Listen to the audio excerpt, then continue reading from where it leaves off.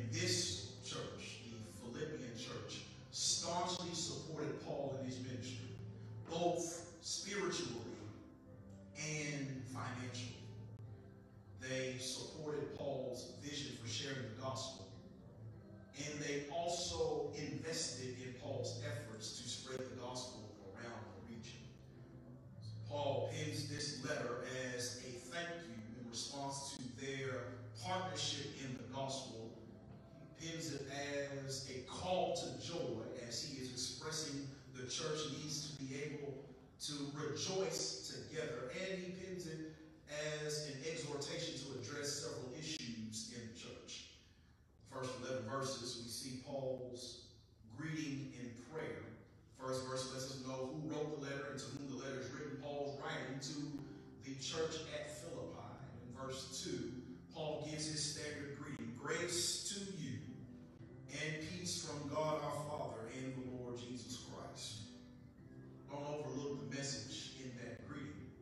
Because Paul says, if you want grace and peace, the only source that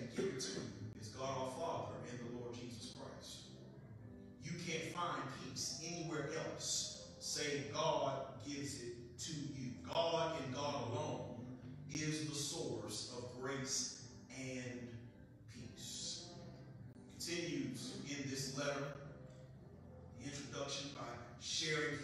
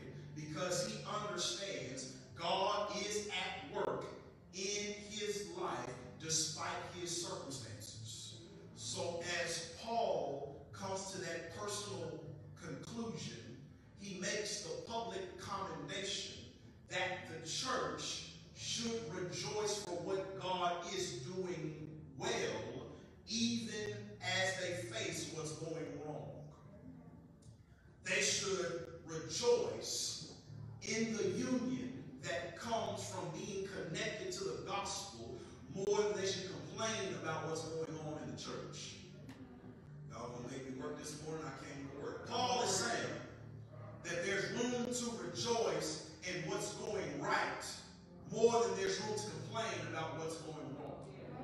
Because regardless of the right or wrong, God is at work in the church, and that's enough for them to rejoice. Here's where I want to hang my hat this morning. God works through and works in the church united by the gospel. That's the message I want to convey this morning. God works through and works in a church united by the gospel. As we look at the landscape of our time, there are many things that will cause us to feel division and to feel sorrow in our church. Culturally, socially, economically, and even spiritually, there are some things set up that will try to break us apart and tear us away from the joy that comes from being together in the gospel. But what Paul tells us here is this. We may not agree about everything, but if we can come together about these facts, Jesus was born, Jesus lived, Jesus died, Jesus was buried, and Jesus rose again. That's enough for us to come together, rejoice together, because God is able to work in that church that's united by the gospel. When you believe the truth about the gospel, you will be able to see God's hand at work both in and through your church because that's how God responds to a united church. Question is probed how does God respond to a church that's united by the gospel? I'm glad you asked because these verses show us two ways God responds to a church united by the gospel. I hope you didn't close your Bible. I don't want you to think I'm making this up.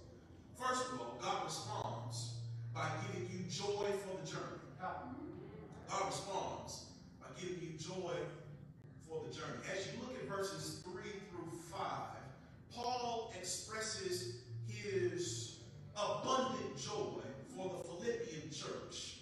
And he does so both in memory and in prayer.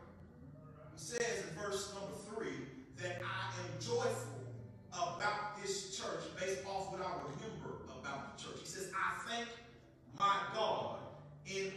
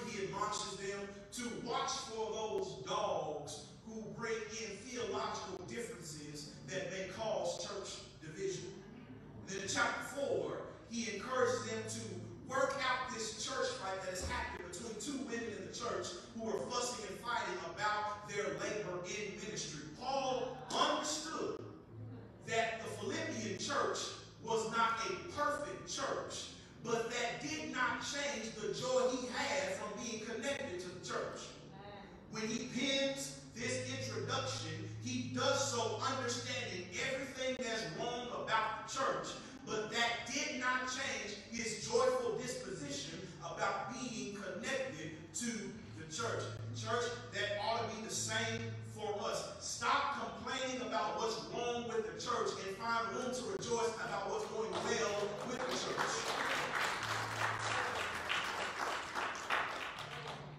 Paul shares that regardless of the imperfections of the church, there's still room to rejoice because God uses the church to help you in your unfavorable circumstances. This is how God works through the church that is united by the gospel. God uses the church to give you joy in unfavorable circumstances. Look where Paul is. Paul is locked in jail. Paul is bound in prison. Yet his memory of the church gives him room to rejoice in spite of his circumstances. And some of you have the same testimony like Paul that you were down in the dumps. You had some issues in your own life, but somebody within the four walls of the church gave you some room to rejoice. You had a phone call come your way.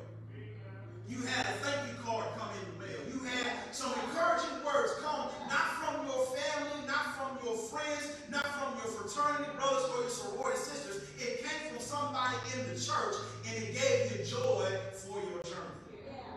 That's how God works through a church united in the gospel, he uses the church to give you joy along your journey in unfavorable circumstances. And it could be that we miss out on that joyful work of God because we spend too much time complaining about what's wrong in the church instead of rejoicing about what's well with the church.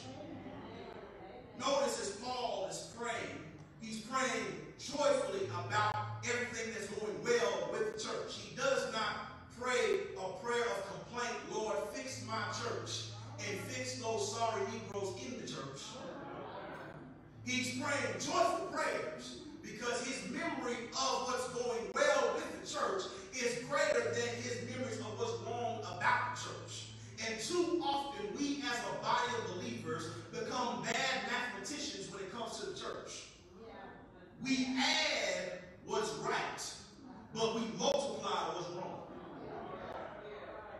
We spend too much time fussing, fighting, and complaining about what's wrong with the church instead of rejoicing about what's well with the church. And when we do that, we miss out on God's joyful work in the church because we're complaining more than we are rejoicing. What Paul teaches us here is this that what unites us is greater than what divides us. Philippian church didn't agree about everything. They had problems when it came to theological differences, they had differences of opinions, they had church fights, but Paul was able to rejoice because he understood what united them is greater than what divided them. What was the thing that united them was the gospel. It was the truth about Jesus Christ. And as long as they stuck together with that, it didn't matter about what tried to divide them because what united them was greater than what divided them. The church, the same is true with us today. What unites us is greater than what divides us. We're not always going to agree about everything theologically because we may see the Bible from different perspectives. We're always going to have some differences of opinion. We may not agree about everything that goes along in the confines of the church and in ministry. And sometimes we flat out have some church fights. You don't have to believe me, just believe history record of black Baptists. We don't have some church fights. But what the truth of the matter is this the gospel is greater than our theological differences. The gospel is greater than our differences of opinions. And the gospel is greater than any church fight. So as long as we're united together in the gospel, by the gospel, for the gospel, God will work through the church and give you joy for the journey in unfavorable circumstances. Again, you know that's true in your own life because there were some church folks who treated you better than your own family. Yeah.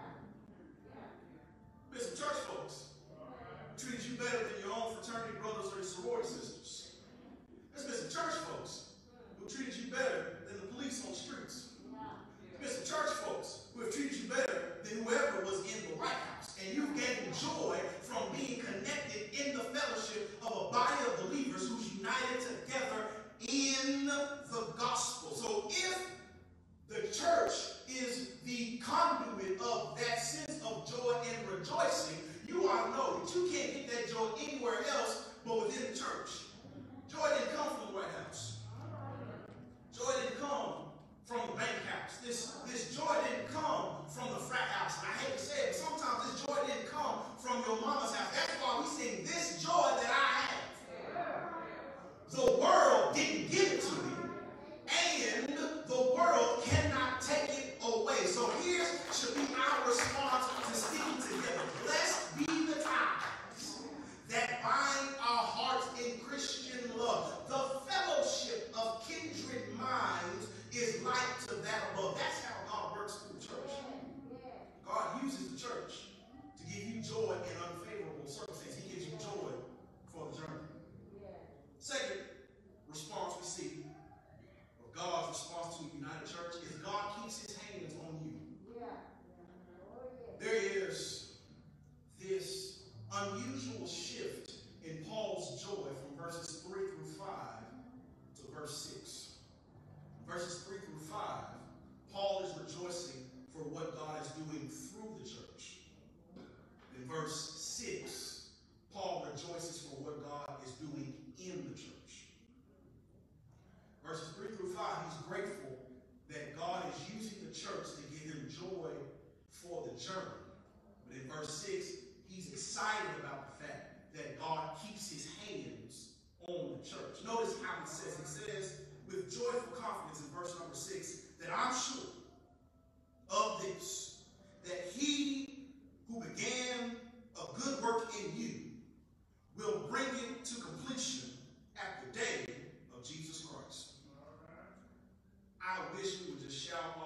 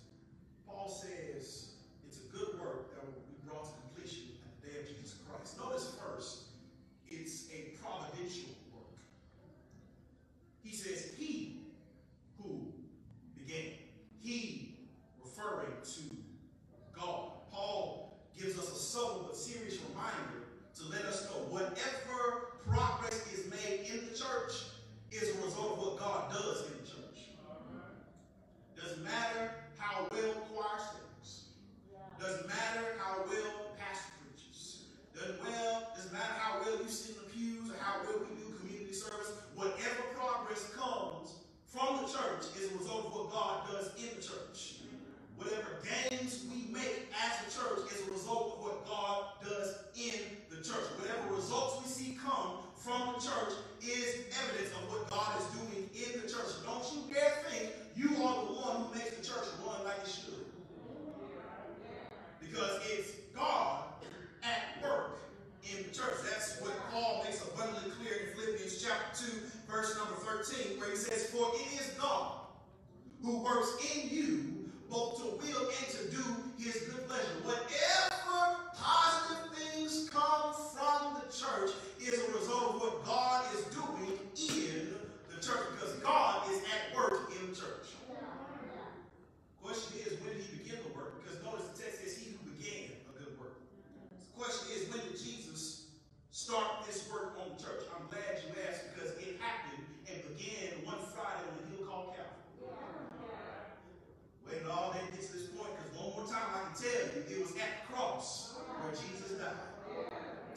This work began when Jesus laid his life out for church. It began on that hill far, far away where there stood an old rugged cross, the emblem of suffering and of shame. It happened when. Bible says Matthew chapter 27, verse 51, that as Jesus is dying, the curtain of the temple was ripped into from top to bottom. That's a good place to shout because it lets us know this good work allowed your salvation to be a line, not a list. Uh, you don't have to sacrifice a goat or any other animal. You don't have to come to the church once a year to tell on yourself about the same sins you committed last year. You don't have to come and confess to a priest who probably has more problems than you do. All you have to do is make a beeline to the cross and repent of your sins. And when you do what the Bible says, confess with your mouth that Jesus is Lord, and believe in your heart that God raised him from the dead, thou shalt be saved. Began with Jesus at the cross, and it has not ended yet. That when you're saved, it means God has saved you from sin, but it still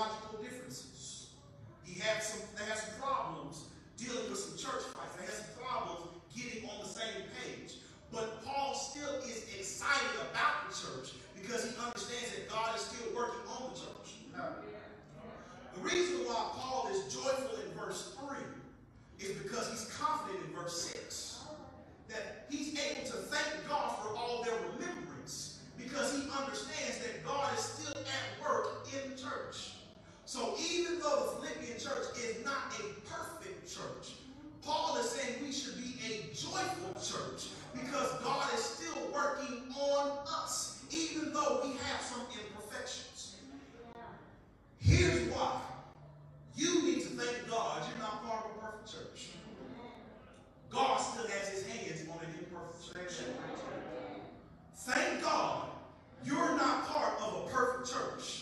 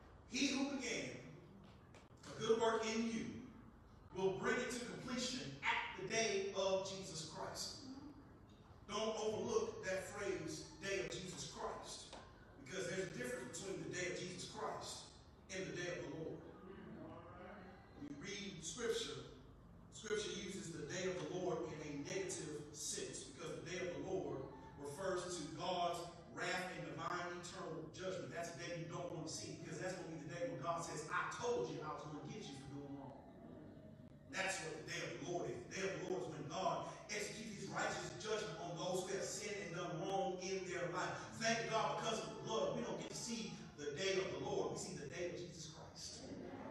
That day of Jesus Christ refers to the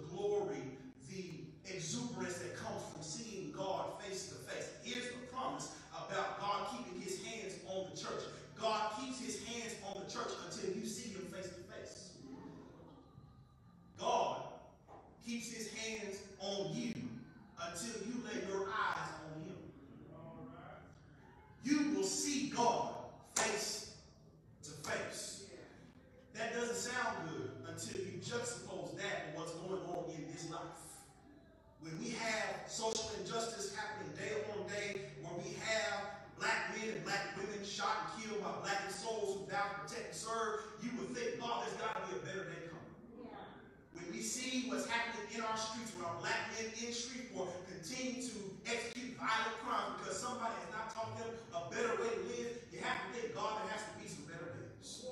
When we see our nation in an uproar because of this pandemic and because of everything else going on, you would think, God, there has to be a better day coming. What Paul says is this as long as you're united in the gospel, better days are coming because you will see God for yourself. That's right that promise comes with a twofold shout. First of all, you'll see Jesus face to face. Ah, Lord have mercy. I'm trying to help the saints, Lord. You'll see Jesus face to face, which means you're going to leave here and meet him right, up there. You will see him face. John says sons of God does not yet appear what we will be, but we know when we see him, we shall be like him, for we will see him as he is. You won't see Jesus based off of FaceTime. Yeah, yeah. You won't see Jesus based off his picture on Facebook. You won't see Jesus based off his picture on Instagram or his post on Twitter. You'll see him face to face. You will lay down your heavy burdens you'll stick your sword in the sands of time and be able to meet the one who died for you, who was buried for you, and who was risen for you face to face. That's why we sing songs like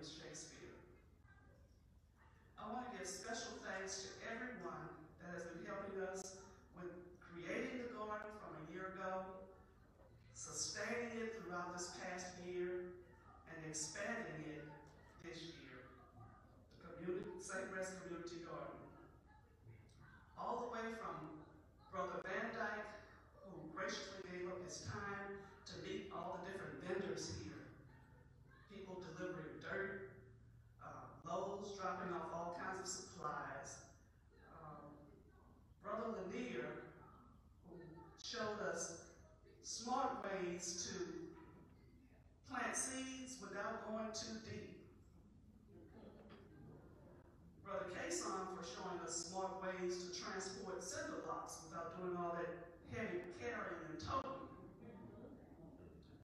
And then to the many of you that just wanted to stop by and just give us your support by being there with your presence. And especially to the parents for bringing out the youth. Amen. Amen. Gardening invites us to get outside, to interact with other gardeners. It gives us a chance to exercise